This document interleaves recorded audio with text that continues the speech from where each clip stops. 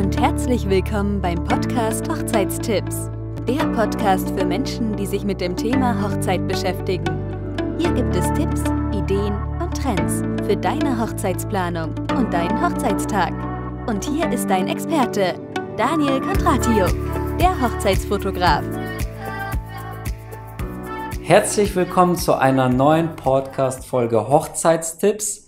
In dieser Folge habe ich wieder einen Interviewpartner an meiner Seite und zwar die liebe Kira. Kira ist Videografin und wohnt in Düsseldorf. Schön, dass du da bist. Hallo Daniel, Hi. danke, dass ich da sein darf. Ja, Ich sehr gerne. Wie geht's dir? Mir geht's gut. Ja, danke. dem Un- Umständen entsprechend, ne? Ähm, vielleicht erzählst du mal so ein bisschen für den Zuhörer ähm, ein paar Worte über dich, über deine Firma, was du so machst, wie lange du das machst. Mhm. Ja, ähm, ich heiße Kira Hollmann. Äh, man kennt mich aber eh unter Kira Stein. Ja. Also ich habe selbst vor zwei Jahren geheiratet und seitdem heiße ich Hollmann. Ah ja, Ähm, aber man findet mich trotzdem im Internet unter Kira Stein, Ja. also unter www.kira-stein.de. ja, Und ähm, auf Instagram findet man mich unter Videografin Düsseldorf. Sehr gut. Und ähm, ja, mit der Videografie habe ich 2016 angefangen. Mhm. Ähm, und von Beruf bin ich eigentlich Biologin. Aber äh, ich würde sagen, dass diese Neigung zum Fotografie und Videografie schon immer da war bei Ja. mir. Und als Kind habe ich mir super gerne Filme von der Natur angeschaut. Mhm. Über die Vögel, über die Fische und so weiter. Sie haben mich wirklich fasziniert. Ja. Und dann, als ich Erwachsene wurde und mir einen Studiengang aussuchen musste, habe ich mir gedacht, okay, wenn mich jetzt mal diese Filme über die Natur faszinieren, dann muss ich Biologie studieren. Ja. Und das habe ich dann gemacht. Und in der Zwischenzeit habe ich super gerne fotografiert. Also ich hatte eine gute Kamera und ähm, habe mich immer gefragt, okay, warum sieht jetzt mal diese Blume auf diesem Foto so schön aus mit so einem unscharfen Hintergrund Mhm. und warum auf meinem Foto ist alles scharf? Keine Ahnung. Ich wollte wirklich verstehen, warum ähm, ein Foto besser aussieht als das andere. Mhm. Und ähm, ich habe auch viel dazugelernt und dann so Shootings mit Freunden gemacht und das hat mir auch riesen Spaß gemacht. Ja. Und dann war ich am Ende mit meinem Biologiestudium fertig und musste mich dann entscheiden, was ich machen möchte. Und da habe ich ja schon mal richtig viel und eigentlich gut fotografiert. Und Mhm. ich habe es schon mal mir überlegt, ob ich, ich die Fotografie äh, zum Beruf machen möchte. Und dann habe ich dann auf meiner Kamera einen, den Videoknopf entdeckt. ja. Und ich war im Urlaub und habe da im Urlaub einfach einige Videosequenzen Ja. aufgenommen.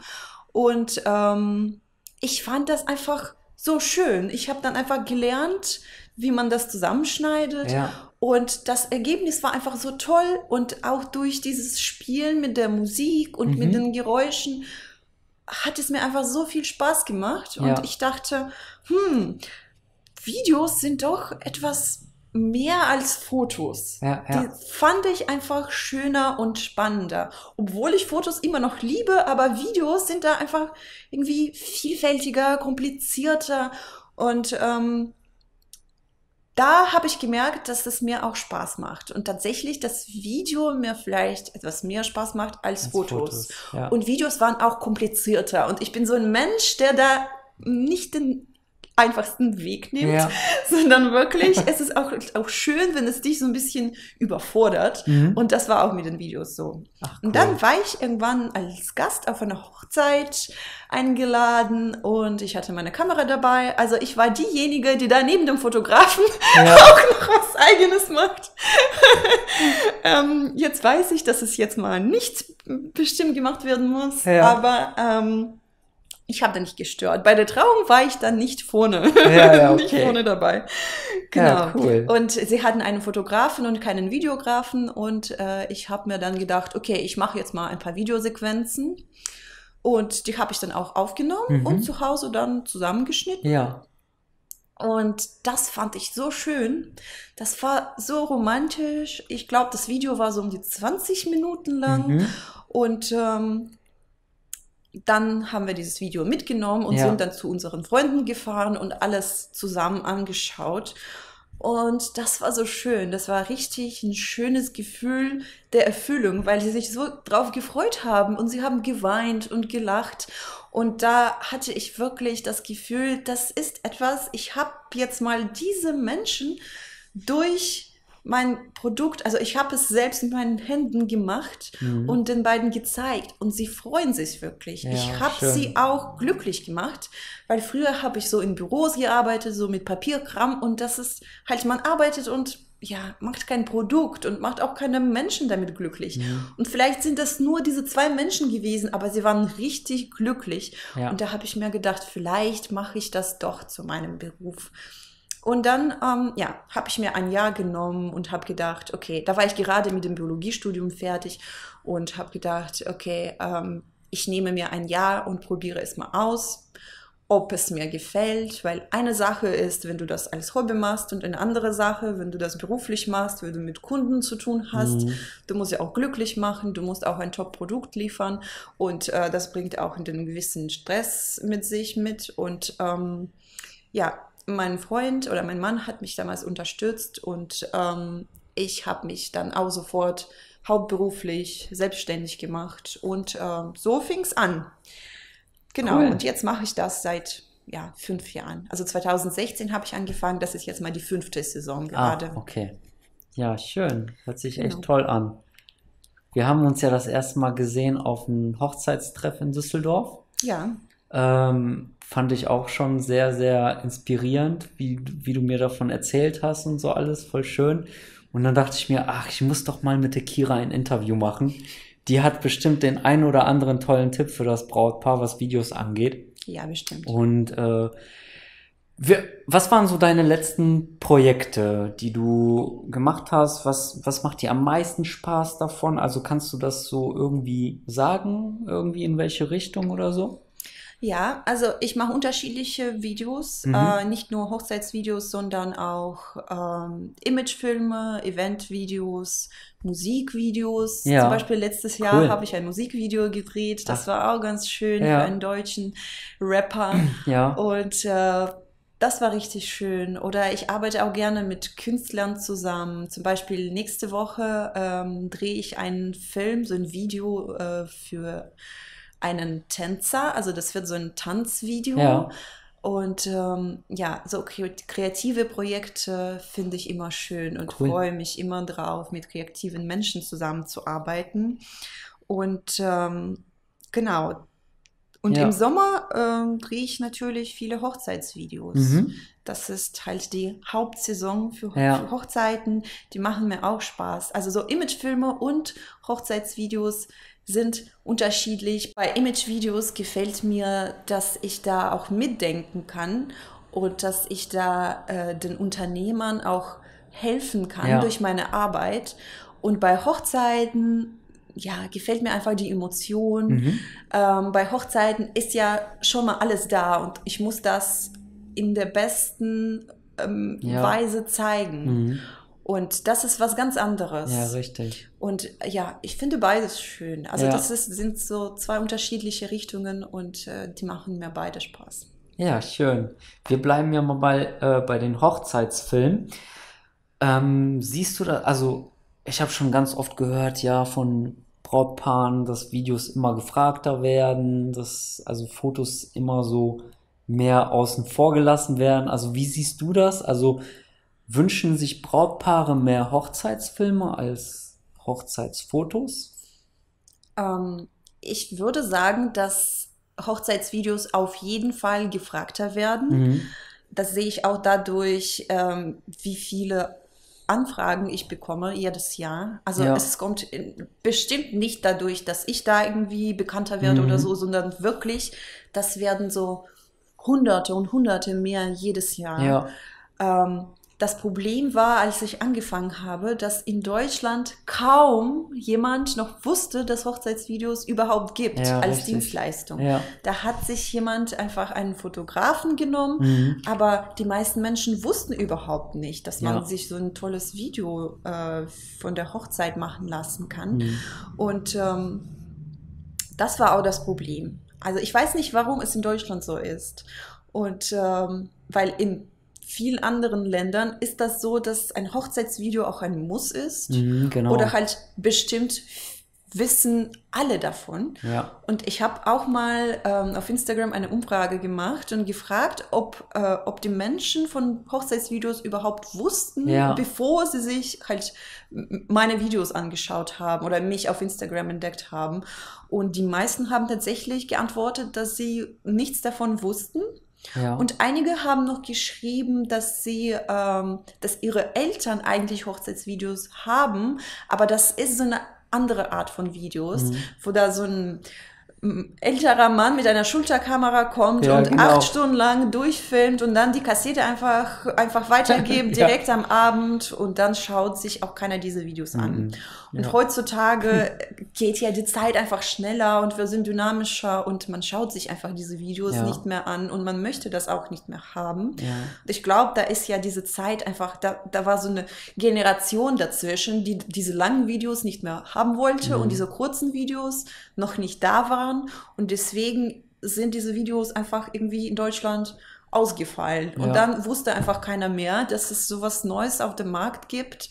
Mhm. Ähm, und genau, ich freue mich jetzt mal wirklich, dass durch YouTube und äh, andere Social Media das jetzt mal wirklich bekannter wird Ja, und dass ich cool. jetzt mal auch viel mehr Anfragen bekomme, sodass Menschen generell schon mal das gesehen haben und sich das eigentlich Mhm. wünschen. Ne, das ist natürlich halt immer die Kostenfrage, ob man das sich ähm, leisten kann oder ob, Ja. ob es einem wert ist. Aber auf jeden Fall die Tendenz ist da, dass man sich eigentlich ein Video wünscht. Ja. Ob Videos jetzt mal Fotos ersetzen, hm, kann ich dann nicht so sagen. Also ich denke ehrlich gesagt nicht, weil ich glaube, Fotos ja werden so klassisch da bleiben, Mhm. weil man möchte auch so ein schönes Foto ausdrucken können und Ja. auf die Wand hängen können oder eine Postkarte ausdrucken. Ne? Das wird immer bei Fotos bleiben. Es sei denn, es kommen Kameras raus, die so eine tolle, richtig gute Qualität haben, sodass man da Die aus Fotos, Videos auch ja. Fotos rausziehen Mhm. kann und dann ausdrucken kann. Ähm, aber ich würde eh sagen, eh nicht, weil bei Videos bewegt man sich und dann ähm, sieht man in Bewegung Ja, so eine kleine richtig. Bewegung. Die sind dann auch halt nicht so scharf wie Mhm. Fotos. Wenn du dich Genau. entscheiden müsstest, Entweder Foto oder Video. also von, von deiner eigenen Hochzeit. Ähm, ich habe nur Fotos von meiner Hochzeit, Ja. ähm, weil ich mir es mir einfach nicht leisten konnte, Ja. beides wenn, zu buchen. Und jetzt, so, wenn du nochmal heiraten würdest, Ähm, würdest du eher diesmal zum Video ich tendieren? würde, ich würde eine, ein Video nehmen und ein Brautpaar-Shooting. Ja.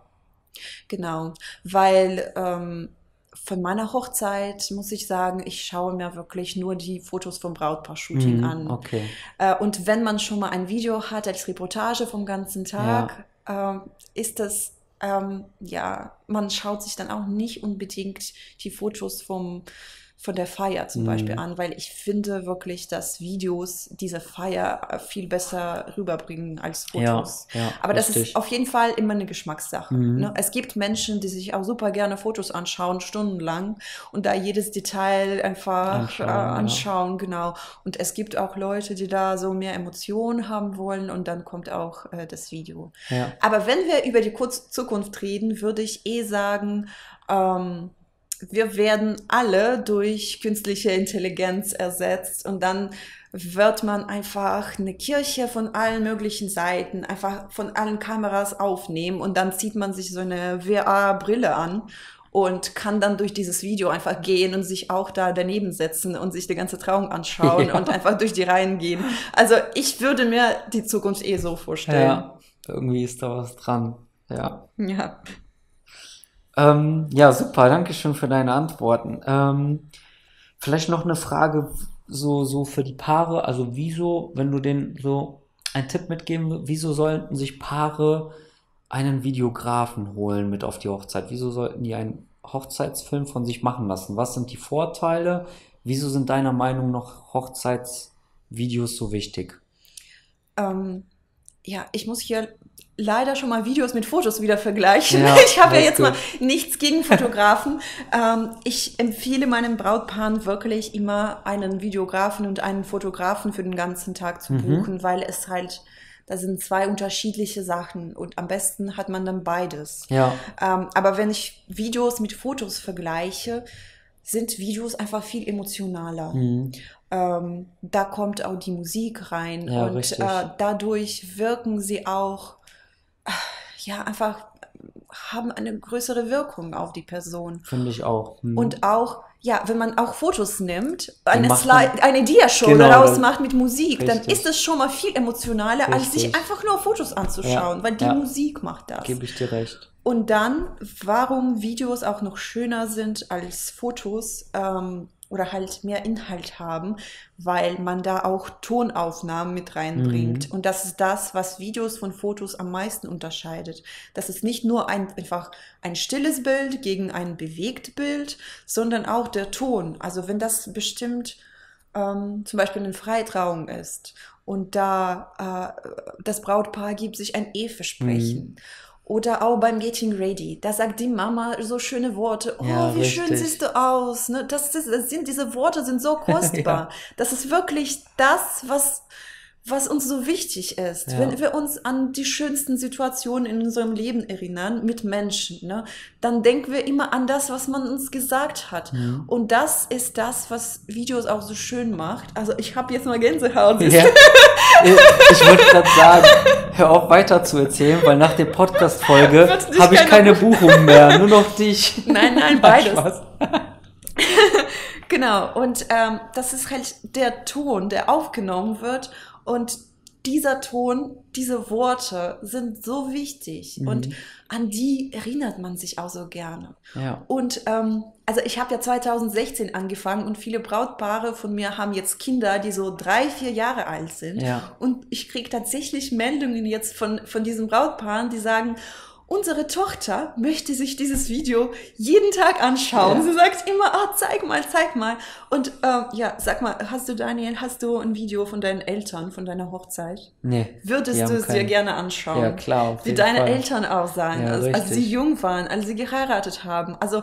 Fotos hat jeder, aber ich glaube, wenn man sich so denkt, ich würde jetzt mal meine Eltern jung bei der Hochzeit so gern sehen, wie sie sich bewegt haben, Mhm. Ja, wie sie ja. gesprochen haben, die Stimmen hören einfach. Das und das stimmt. ist halt richtig, richtig schön und das ist das, was auch wirklich für die Erinnerung bleibt, wo die Menschen auch lebendig bleiben, wo man sie auch in 10, 10 20, 30, 40 Jahren auch so lebendig spüren, sehen kann Mhm. und sich wirklich dann in diese Situation nochmal Ja. versetzen. Schön. Das finde ich schön an Videos. Toll. Ähm, wie lange, also wenn, wenn ich mich jetzt entscheide, einen Videografen zu buchen, wie lange, was würdest du da sagen, wie lange im Vorfeld muss man einen Videografen buchen? Ähm, ja, ich arbeite nach dem First Come, First Serve Prinzip. Ja, ne? Also der Erste, der gekommen ist, fragt einfach nach dem Termin, wenn der Termin frei ist, wenn wir gut zusammen klarkommen, Mhm. wenn, wenn wir uns gut unsere Zusammenarbeit vorstellen können, dann Ja. ähm, werde ich gebucht. Und ja, normalerweise ist es so, ich würde sagen, ein Jahr im Voraus. Jahr. Mhm. Ähm, wenn ihr an einem Termin heiratet, an einem Termin, der auch gefragt ist. Also Ja. es gibt so bestimmte Tage. Dieses Jahr ist das zum Beispiel der 6.6. Mhm. und nächstes Jahr ist das ähm, der 7.8. Ja, Zum Beispiel für den Termin äh, 7.8. wurde ich schon jetzt mal eineinhalb Jahre im Voraus gebucht und ich bekomme auch jede Woche zwei Anfragen für den gleichen Tag. Mhm, also wenn stimmt. ihr da wirklich so einen Tag auswählt, dann am besten früher. Und ähm, es kann aber immer noch passieren, dass ich ähm, zwei Wochen im Voraus angefragt werde und der Termin ist noch frei. Also ja, auch. es kann ja. auch passieren, dass ein Samstag im Sommer oder einige Samstage im Sommer noch frei bleiben und dann kann man auch immer anfragen und den Mhm. Termin auch frei ähm, bekommen und ähm, halt auch anfragen. Ja, bei mir ist es genauso. Also auch ein bis zwei Jahre würde ich schon empfehlen an besonderen Tagen. Ja. Ähm, ja, super. Ähm, wenn sich jetzt ein Pärchen bei dir meldet, ne, hast du da auch, also legst du da auch auf bestimmte Dinge, sollen die irgendwas Bestimmtes mit in die Mail reinschreiben? Ist dir da irgendwas wichtig, wenn, wenn später das Gespräch da ist? Also hast du da eine, also wie, wie arbeitest du da?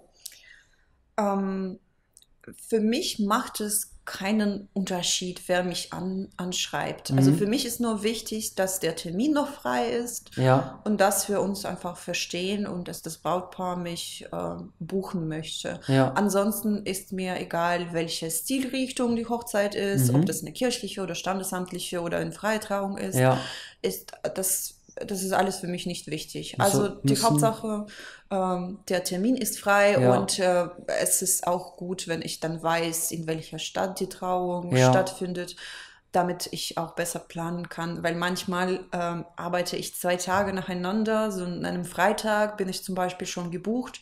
Und dann bekomme ich eine Anfrage für den Samstag. Und wenn ich am Freitag eine Trauung in Düsseldorf habe und am Samstag kriege ich eine Anfrage äh, irgendwo in Berlin, ne, da kann Ja. ich natürlich nicht anreisen. ja, richtig. Deswegen ist es dann ganz gut, einfach äh, den Termin zu nennen und die Stadt und der Rest ergibt sich dann. Mhm. Beim Vorgespräch äh, werden wir dann einfach alles klären, die ganzen Fragen beantworten. Also machst du auch Vorgespräche dann mit den Paaren. Ist das wichtig bei dir? Auf jeden Fall. Ich finde Vorgespräche sehr wichtig. Ich mache sogar zwei Vorgespräche. Ja, Ähm, also ich treffe mich mit jedem Brautpaar einmal vor der Buchung, also Mhm. so, dass wir uns kennenlernen. ja, Am besten persönlich, wenn wir so aus dem gleichen Umkreis äh, kommen. Jetzt in der Corona-Zeit ist es halt schwierig, deswegen treffen wir uns ähm, über einen Videochat, über Ja. WhatsApp mit Video oder über geht Skype. Ne? Mhm. Ähm, für mich ist auf jeden Fall wichtig, dass äh, beide Leute da sind, äh, sowohl die Braut als auch der Bräutigam Mhm. und äh, dass wir uns auch sehen. Ja, Und richtig. beim ersten Vorgespräch ist das so, dass ähm, ja, ich möchte meine Brautpaare einfach kennenlernen, weil ich bin an diesem Tag den ganzen Tag dabei und ich möchte, dass die Brautpaare sich auch mit mir wohlfühlen Ja, und sich auch auf mich wichtig. verlassen wollen. Mhm. Ähm, weil ich möchte, dass sie sich auch auf mich freuen, dass sie mich einfach als Person gerne sehen wollen. Und das ist mir wichtig. Und dann ähm, ja, klären wir beim ersten Vorgespräch einfach, äh, was das Brautpaar Also, sich wünscht, Mhm. welches Paket vielleicht dem Brautpaar am besten Ja. passt, woran legen sie Wert und generell, welche Wünsche und Vorstellungen sie haben. Ja, Und danach unterschreiben wir dann einen Vertrag und treffen wir uns dann nochmal so kurz vor der Hochzeit, einen Monat oder zwei Wochen vor der Hochzeit, damit wir dann auch den Ablauf genau durchgehen können. Ja.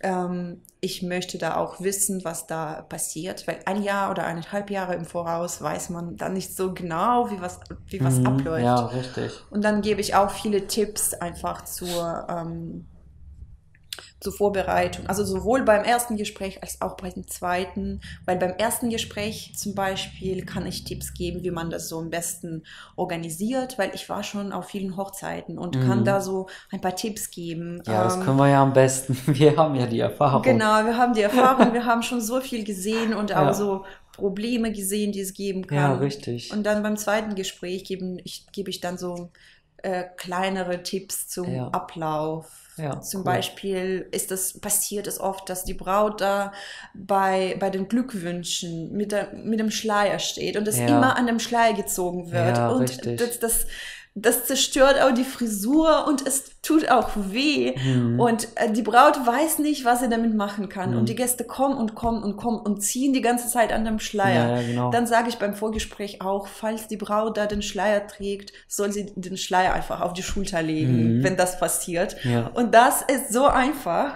Und die Bräute kommen einfach nicht drauf, weil sie da selbst einfach überfordert sind. genau. Und dann ähm, sind sie mir so dankbar. Dann wird zum ersten Mal an dem Schleier gezogen und dann denkt sie sofort daran, legt sich den Schleier auf die Schulter Ja, und dann hat sie kein Problem mehr. Ja. Ne? Also solche kleine Sachen einfach so zum Ablauf oder halt ja, das, was, was die Hochzeit an sich schöner macht und was äh, den Ablauf auch erleichtert. Mhm. Und ähm, genau, das Ja, gehen wir dann super. alles durch, damit wir uns auch erinnern können an uns ne, gegenseitig, Mhm, weil wir haben uns ja schon mal lange nicht gesehen. Ja, genau. Und ähm, genau, Ja, das finde ich find super das auch wichtig. super wichtig. Ne? Also ich denke mal so, ja, die Person muss halt auch einen gefallen, ne? Also das ist schon super, super wichtig, dass man Genau, auch die Sympathie da ist, wenn man auch so eine genau. Hochzeit den ganzen Tag begleitet.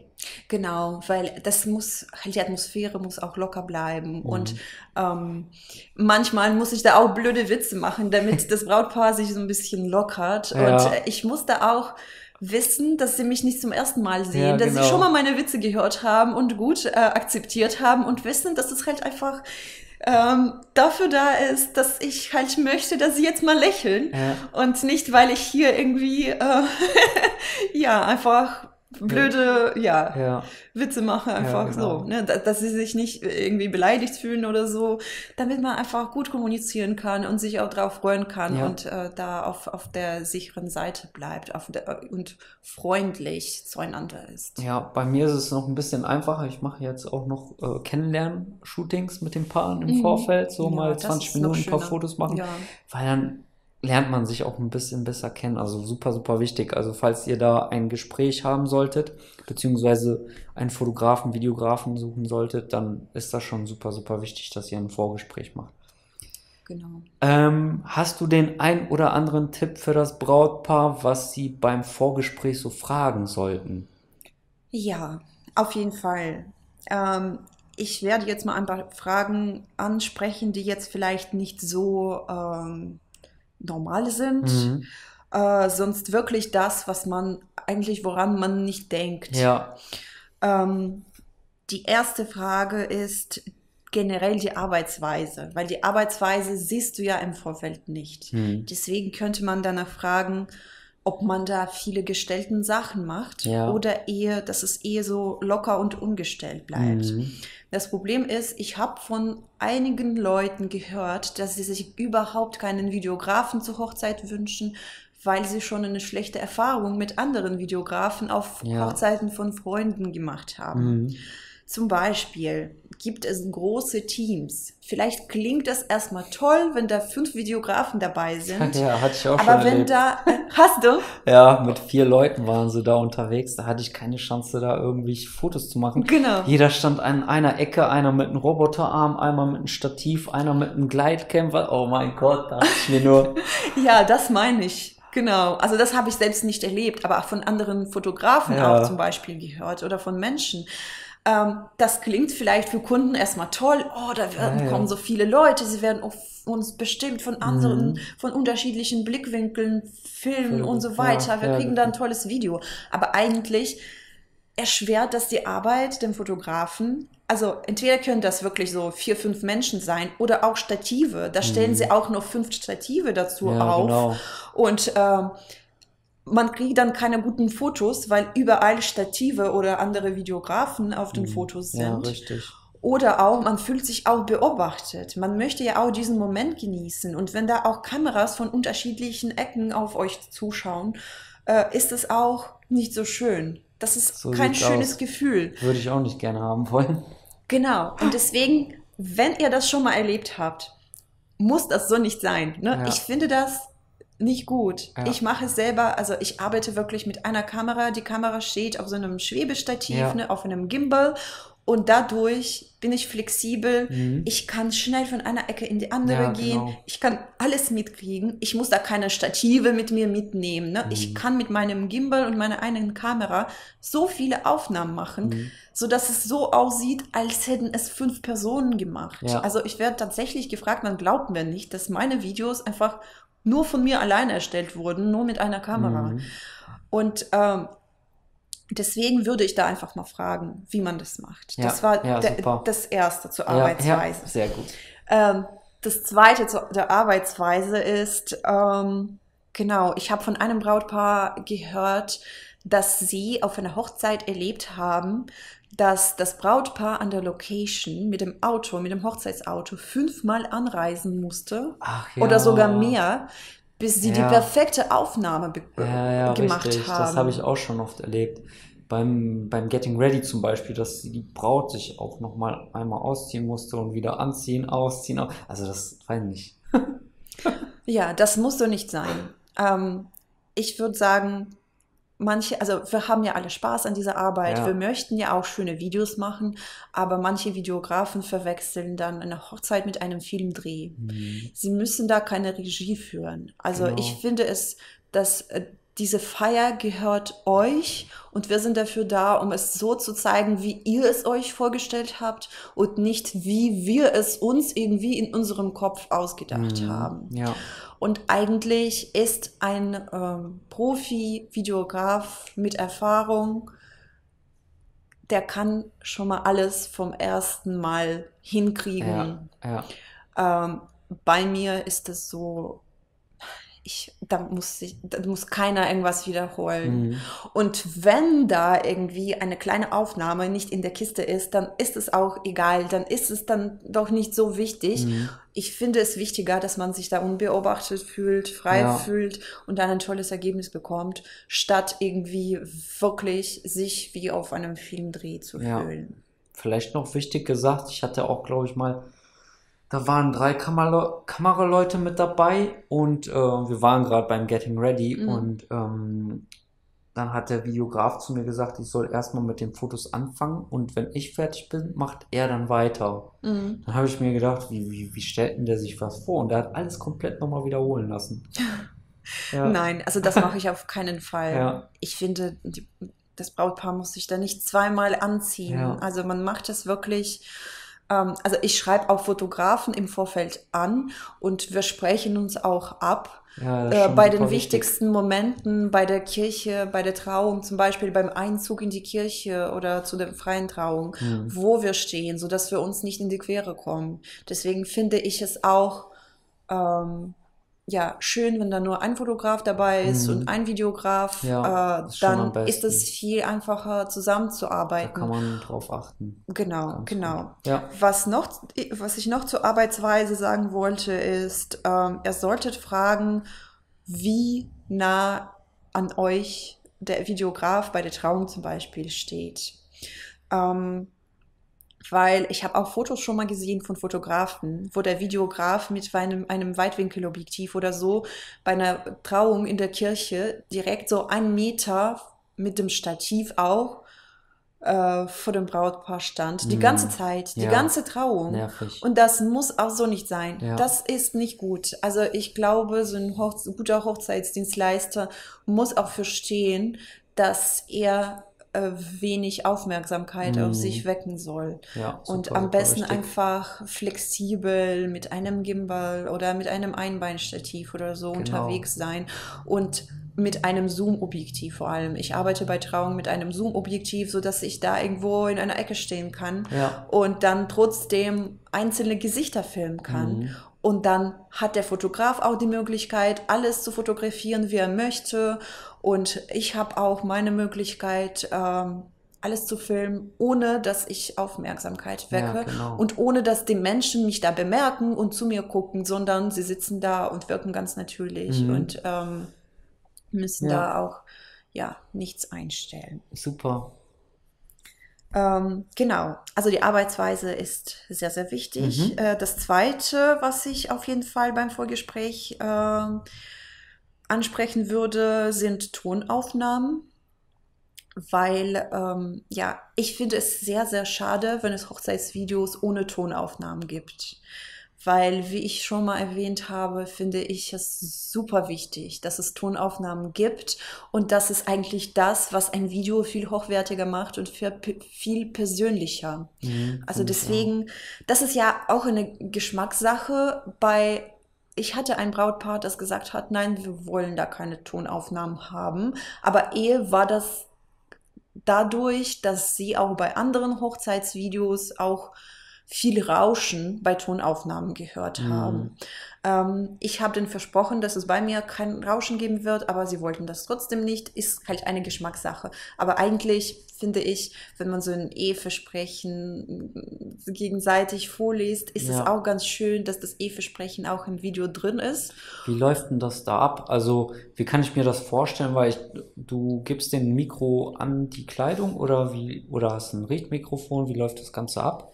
Ähm, ich gebe dem Bräutigam so ein Ansteckmikrofon. Das versteckt man so hinter den Ansteckblumen. Das merkt man gar nicht. ja. Das Hm. ist so eine Quelle. Ja. Und dann habe ich die zweite Quelle. Es gibt so ein ähm, Tonaufnahmegerät. Und das Gerät kann man dann ähm, beim DJ zum Beispiel auf dem, beim Mischpult anschließen, Ja.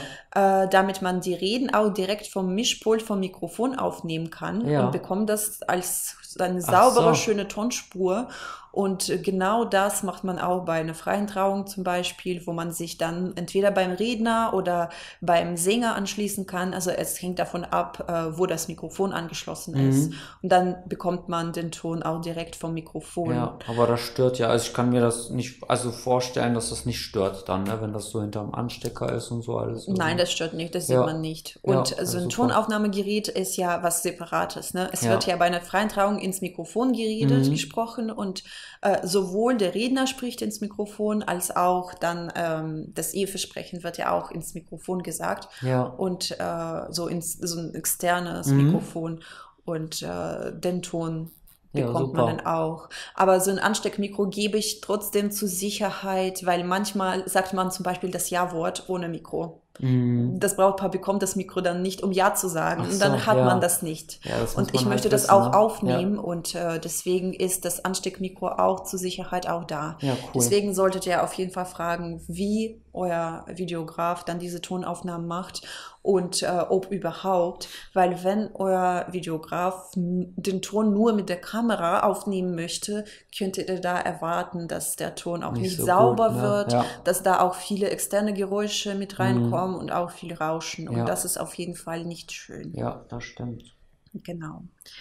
Äh, der nächste Punkt ähm, ist die Erfahrung. Mhm. Das finde ich auch super wichtig. Also ob man das äh, beruflich macht, ob man das schon mal mehrmals gemacht hat. Also ich muss jetzt mal, ich möchte nicht sagen, dass man bestimmt schon mal so zehn Jahre lang das machen muss. Ja. Aber mindestens fünf Hochzeiten müsste Auf- man dann schon mal Ja, aufgenommen ja, haben.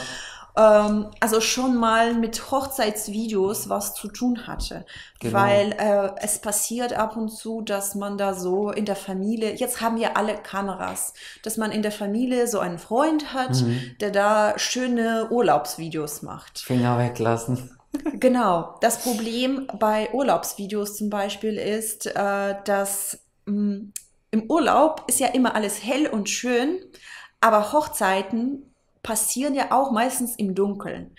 Beim ersten Eröffnungstanz, bei der Party, auch da im Saal und auch manchmal in düsteren Kirchen Genau.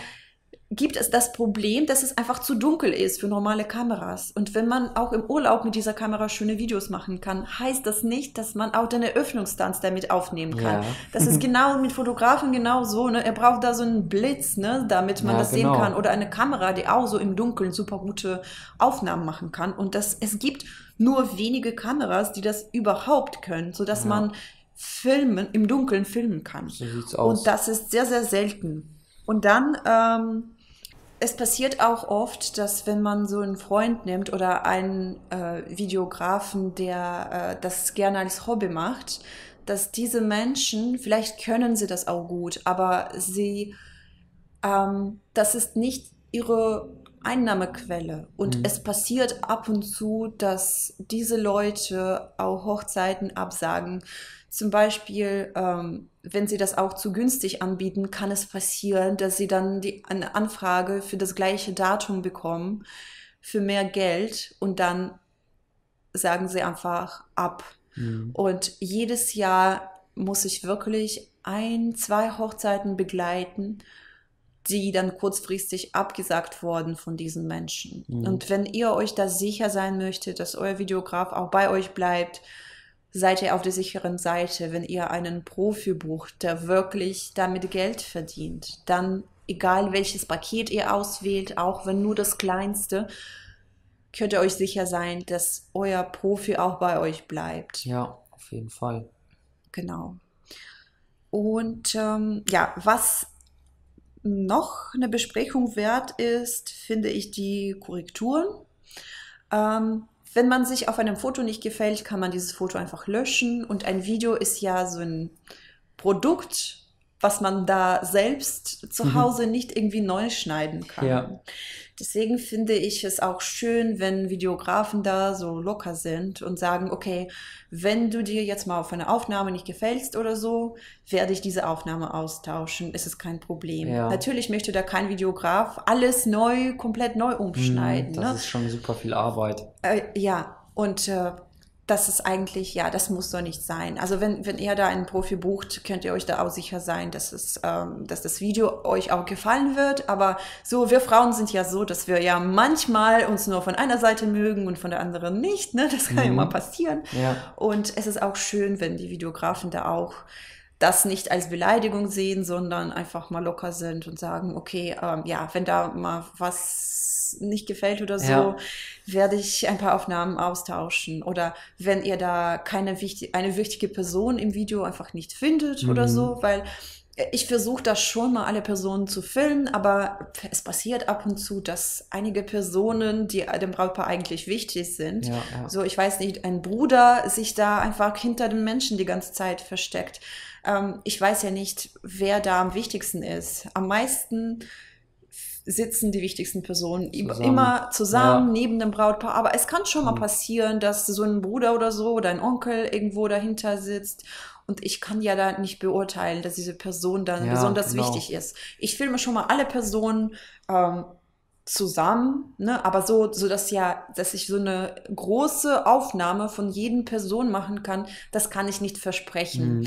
Und äh, in diesem Fall, falls euch da eine Person fehlt, äh, könnt, ihr, könnt ihr da euren Videografen oder mich auch anschreiben und sagen, okay, uns ist jetzt mal diese Person wichtig, kannst du diese Person dann, vielleicht hast du diese Person dann groß einmal aufgenommen, das wäre toll, wenn, wenn die da auch im Video wäre Mhm. und dann äh, kann ich das auch tauschen. Also kleine schön, Änderungen kann. kann ich da vornehmen, das ist überhaupt kein Problem. Ja, nicht schlecht. Also Genau. genau. Ja, ein super, super Tipp. Cool. Ja, und was ich noch wichtig finde, dass man dann einen Vertrag mit dem Dienstleister unterschreibt, dann ist man auf jeden Fall auf der sicheren Seite. Dann kann man da aus dem Vertrag auch nicht so schnell äh, rauskommen und ähm, Ja. da könnt ihr einfach im Vertrag alles, alles festhalten und dann seid ihr euch auch sicher, dass der Dienstleister tatsächlich auch zu euch kommt und dabei ist. Und da werden auch alle Kosten geregelt Mhm. und wie, welche Anzahlungen, wann und so weiter.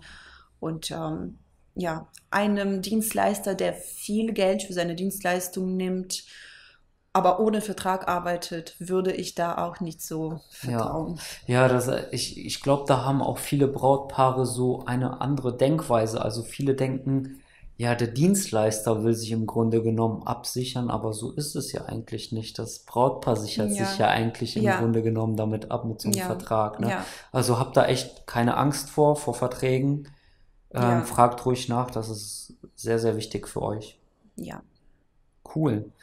Ich sehe schon gerade, wir sind bei 43 Minuten. Ich würde sagen, wir machen einfach mit der Podcast-Folge einen Break. Das waren schon super, super viele nützliche Tipps von dir, liebe Kira. Dankeschön. Gerne. Und ich würde sagen, wir machen einfach einen zweiten Teil daraus, oder? Ja, gerne. Cool, denn ich habe noch ganz, ganz viele weitere Fragen an dich. cool, ja, schön, dass ihr zugehört habt heute. Ich wünsche euch auf jeden Fall noch viel Spaß bei eurer Hochzeitsplanung. Und ja, wir hören uns das nächste Mal beim Teil 2. Macht's gut, tschüss. Tschüss. Das war's schon wieder mit der neuen Folge von Hochzeitstipps. Wenn es dir gefallen hat, freut sich Daniel über ein Abo. Für weitere Informationen rund um das Thema Hochzeit besuche seine Homepage www.daco-photography.de. Danke und bis zum nächsten Mal.